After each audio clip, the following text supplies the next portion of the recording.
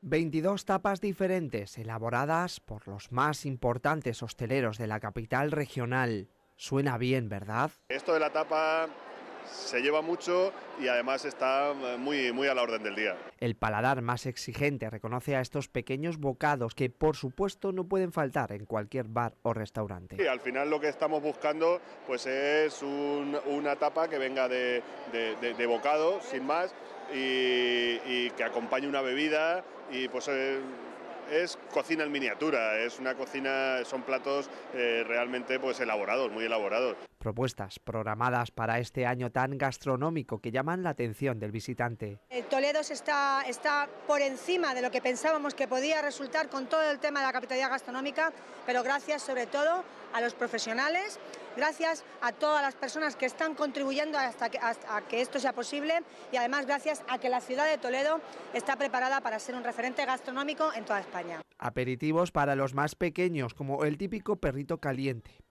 Para los mayores, las tapas pasan por los rollitos o las tortillas de bacalao. Ir también un poco por, un poco por la moda, y la moda está ir de tapas, pues vamos de tapas todos. Todo lo recaudado va destinado al funcionamiento del proyecto de San Isidro Labrador que promueve Cáritas Diocesana y en el que participan personas en riesgo de exclusión social.